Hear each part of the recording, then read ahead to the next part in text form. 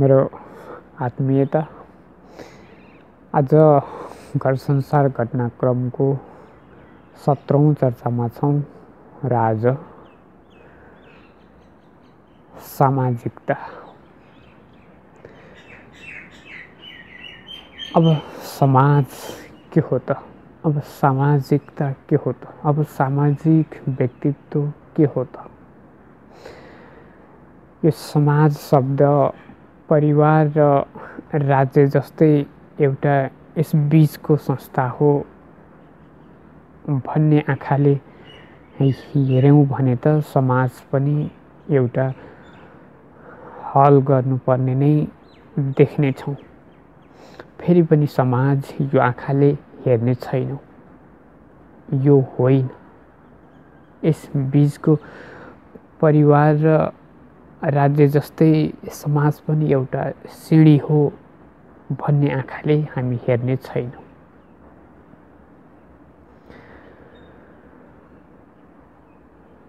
हामीले राज्यको हल समाज परिवार र एउटा स्त्री र पुरुषको सम्बन्धमा ल्याएर हल गर्ने आँखाले हेर्दा त यो समाज पनि एउटा सिँढी जस्तो लाग्नेछ फेरि पनि सत्यता यो होइन। समाज सिँढी होइन। यसलाई सिँढी बनाउनु हुन्न। समाजलाई सर्वज्ञताको समाजलाई एउटा साम्यवादको स्वरूपमा सामयिक मानवको आफ्नो एरिया सम्झौँ।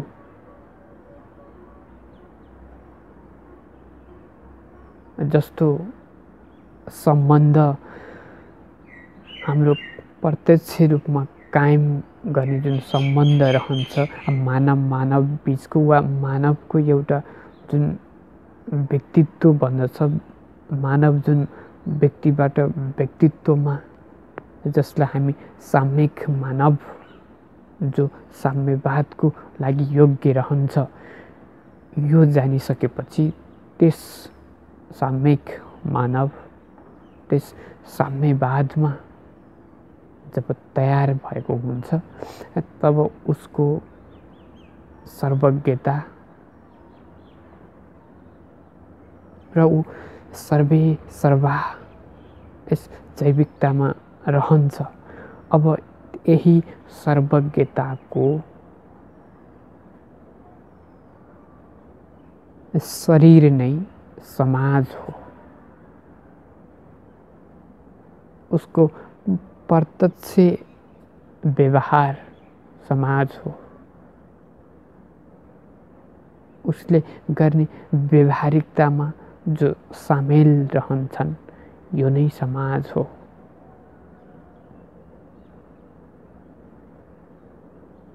जसरी हामीले सन्तान उत्पत्तिमा रगतको सम्बन्धलाई लिएर एउटा आफन्तजन परिवारजन यो माहौललाई हामीले जुन रूपमा जान्दछौँ यसरी नै यो व्यक्ति समाप्त भइसकेपछि वा व्यक्तिबाट व्यक्तित्व बनिसकेपछि व्यक्तित्वको माहौल हो समाज। यसलाई ठिक ढङ्गले बुझ्नुपर्नेछ। यहाँ व्यक्तिको जुन माहौल छ त्यो परिवारजन नाता सम्बन्ध आफन्तजन यस्तो हामी सबैले जान्दछौँ। यो हाम्रो जस्तो देशमा मात्रै होइन यो सबै मानव जातिले यो भोग्दछ। यो रगतको नातासँग जोडिएको माहौल थोरै न थोरै त यो बनेकै हुन्छ। आमा बाबु दाजुभाइ आमा बाबुको पनि आमा बाबु। फेरि उनीहरूको पनि दाजुभाइ एउटा जुन माहौल बन्दछ त्यो व्यक्तिको माहौल भयो। त्यो व्यक्तिको सम्बन्ध भयो। त्यो व्यक्तिको शरीरको जुन प्रत्यक्ष सम्बन्ध बन् बन्दछ त्यो भयो। जसलाई हामीले परिवारवाद भन्दछौँ। अब यहाँ साम्यवादको माहौलमा समाज समाज त्यो परिवार हो जहाँ व्यक्तिमा सम्बन्धित रहेको जुन आफ्नो आफन्तको जुन बन्धन हो त्यो फुकेर त्यो बन्धन बदलिएर अब समाज एउटा बन्धनीय रहन्छ जसले व्यक्तित्वले प्रत्यक्ष सम्बन्ध बनाउँछ। उसको वरिपरि उसको शरीरले उसको आँखाले उसको इन्द्रियले जुन एरिया कायम गर्छ यसमा उसको सम्बन्ध उसको भूमिका। यसो त फेरि ऊ बसोबासको रूपमा एक ठाउँमा मात्र रहने छैन। ऊ पृथ्वीको पुरा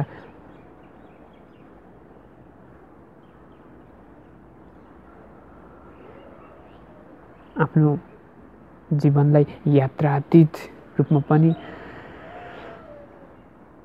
भोग्न सक्छ। यसमा त त्यो समाज एउटा स्थानको माहौल मात्र बन्दैन। यसरी नै समाजलाई त्यो स्थानको माहौलको आँखाले मात्र नहेरौँ जसरी आज हामीले सम्बन्धलाई आफ्नो आफन्तलाई व्यक्तिको माहौलको रूपमा बेहोर्छौँ। यसरी त्यो समाजलाई एउटा स्थानको माहौलको रूपमा बेहोर्नु हुन् त्यो सर्वज्ञ हुन्छ। त्यो सर्वत्र हुन्छ। त्यो व्यक्तिको सर्वे सर्वास्वरूपको व्यवहारिकतामा आउने भएकोले त्यो कुनै स्थानमा आफू रहने स्थानको माहौललाई मात्र लिने होइन। समाज भनेको व्यक्तित्वको व्यवहारिकता व्यक्तित्वको व्यवहारिकतामा जो हामी उपयोग गर्नेछौँ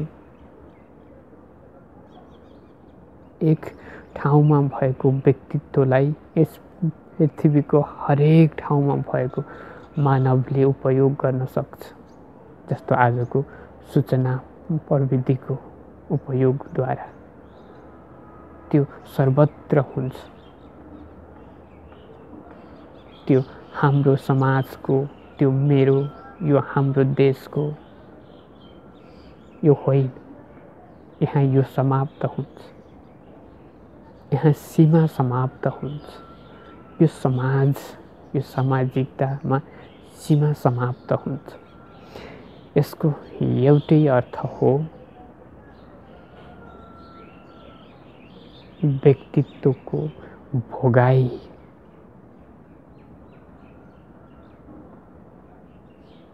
जसरी व्यक्तिमा म मेरो ए आफन्तजन यो सम्बन्धको बन्धन जसरी फोकेर जान्छ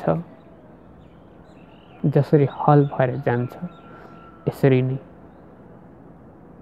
हामीले समाजलाई जुन रूपमा हेर्छौँ एउटा स्थानको रूपमा यो पुरा फुकेर पुरा पृथ्वीमा पुरा जैविकतामा भोग्नु पर्ने हुन्छ।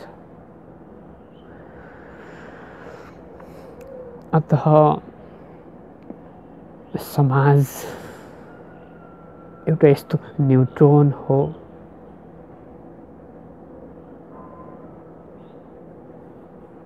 जो राज्यको जस्तो स्वरूप आवश्यक छ। न व्यक्तिको वैयक्तिक व्यक्तिको जुन जीवनमा जुन न्यूनतम स्थितिको चेतना छ जसले आर्जन गर्नेछ जो व्यक्तित्वसम्म गएको छैन।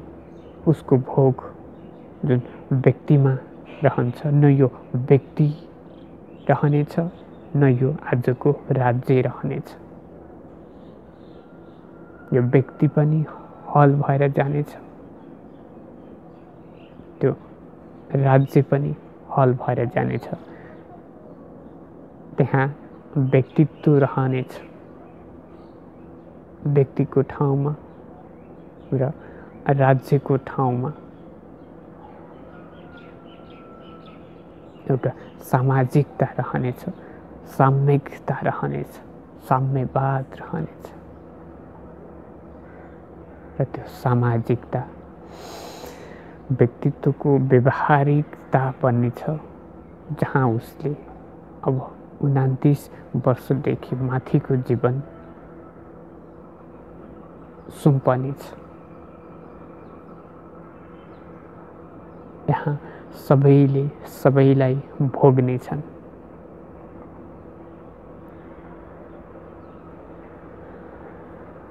यो प्रकृतिको सामिप्यमा रहेर मानवको उच्चतम क्षमताको उपयोग हो। यहाँ जैविकताको सञ्चालन मानवले ठिक ढङ्गले गर्नेछ।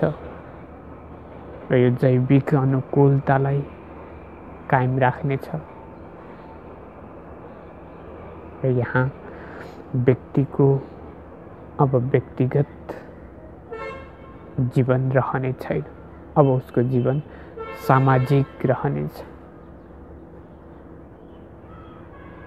अब व्यक्तिको अधिकार समाजले जुन व्यक्ति छ जुन व्यक्ति व्यक्तित्व भइसकेको छ अब त्यस व्यक्तिलाई व्यक्तिलाई समाजले भोग्नेछ। त्यस व्यक्तिमा जुन फल फलेको छ व्यक्तित्वको फल त्यो अधिकार अब अरूलाई भोग्नको लागि हो त त्यो भोग्ने भनेको सामाजिक व्यवस्थाले हो सामाजिकताले हो अरूले हो अरू नै समाज हो।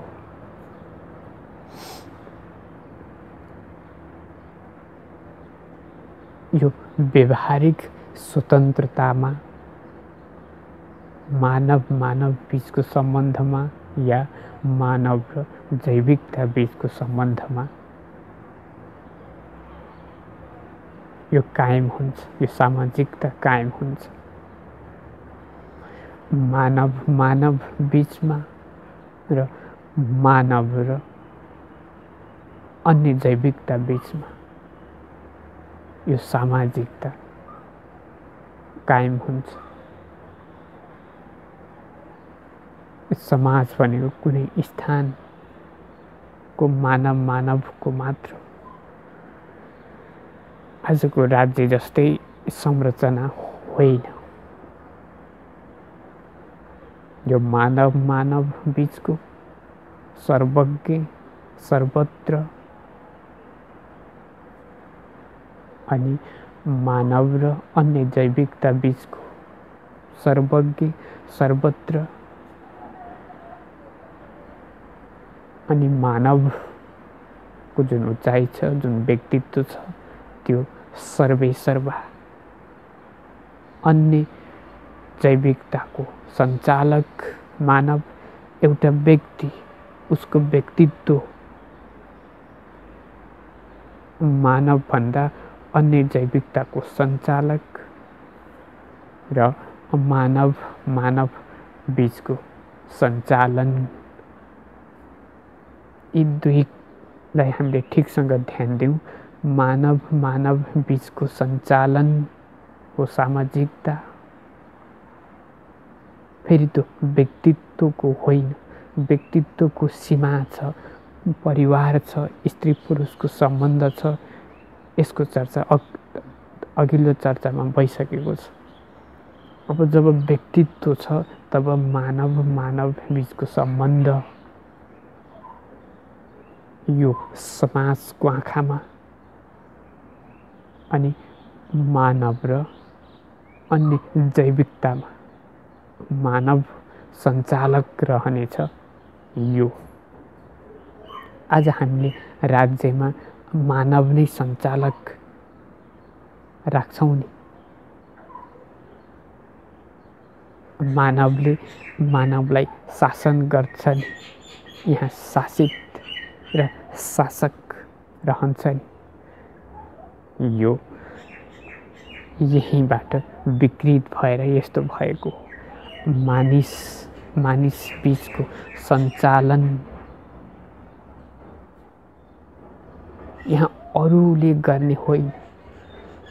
स्वयं आफैले गर्ने हो। मानिस मानिस बिचको सञ्चालन अर्को व्यक्तिले गर्ने होइन। आफैले गर्ने हो।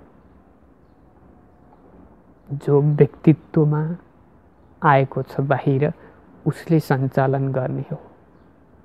फेरि मानिसलाई अन्य मानवभन्दा तल्लो चेतन स्तरको जैविकतालाई सञ्चालकत्व पाउने त्यही हिसाबले यो क्षमताले यो अधिकारले गर्ने होइन। सञ्चालक त मानव हो एउटा व्यक्ति हो स्वयं हो म हो ऊ हो त्यो हो। सबै मानिस सञ्चालक हो। त्यो सञ्चा सञ्चालकत्व मानिसभन्दा तल्लो जैविक चेतनाको लागि हो। फेरि मानव मानव बिचमा मानव सञ्चालित रहनुपर्छ। सञ्चालक होइन। अब फेरि यहाँ सञ्चालन गर्ने कसले?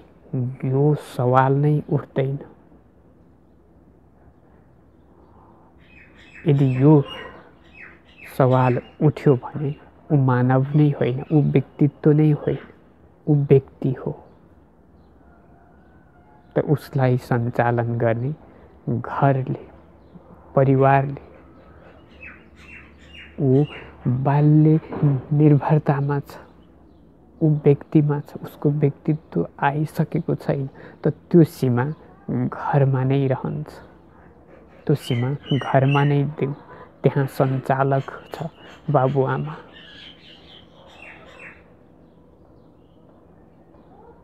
जब व्यक्ति व्यक्तित्व बन्छ तब यहाँ सञ्चालकको सवाल नै समाप्त हुन्छ। अब सञ्चालित मानव मानव बिच सञ्चालित रहने। यो सञ्चालित रहने अवस्था नै समाज हो।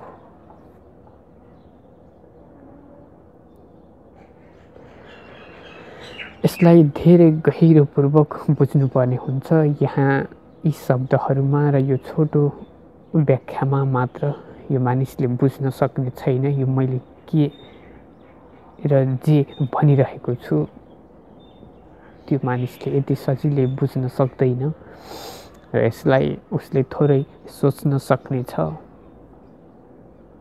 र यही सोचाइमा व्यापकता आउनेछ र यो बुझ्न सक्छौँ। अत आज यति नै जानौँ कि व्यक्तित्वको व्यवहारिकता सामाजिकता हो समाज हो यो